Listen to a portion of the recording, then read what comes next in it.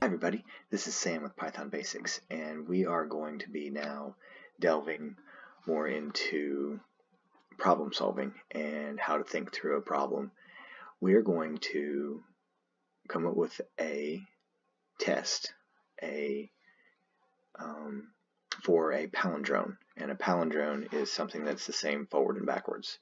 So right now we're just going to do the test to see if something's a palindrome.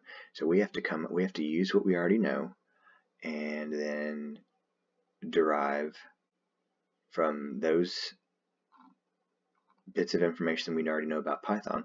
I'll show you two different ways, um, just so you can start getting in your head about how to take the items that we already have, the methods, and the predetermined functions to solve things. So let's just get started.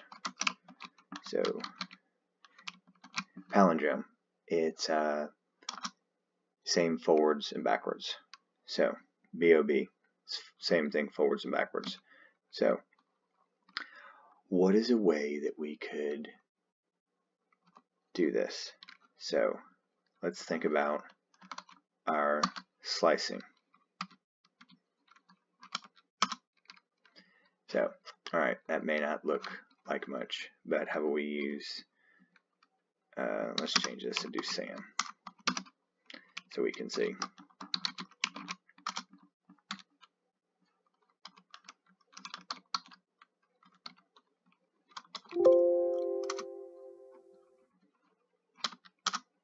So, alright, let's go over this again so you can see.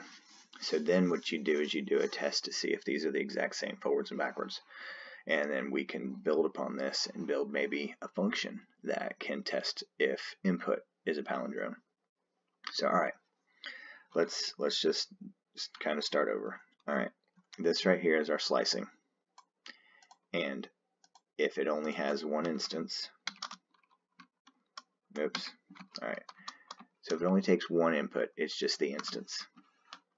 But if it uses the one colon, it goes start to finish. And I have I have a video on this, so you, you can you can look up slicing. But what this is saying is the step. It's saying minus one, so that's reverse. So that's what this does. So we go all the way. Do you remember to remind you? That says go all the way, start at zero, go all the way to the end. But, so then how would we do this? So, we just saw how to do it backwards. So we go, anybody got any guesses? So if we have this, we have to do our two equal signs. Then we go x. Boom. This is is equal. So we have our bob, then we have our bob in reverse, and we can test this. We can do y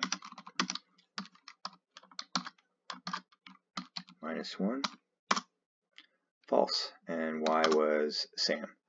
So now, this was just a little warm-up. What we'll do is then we'll actually start to build this and go through and take input from the user and then do the test. But this is a quick and simple and easy way to test if something is a palindrome, and this is a way to print something out in reverse. So, thanks for watching. Hope you guys are getting something out of this. Don't forget to click the subscribe button, and uh, we'll build on this next time. Thanks.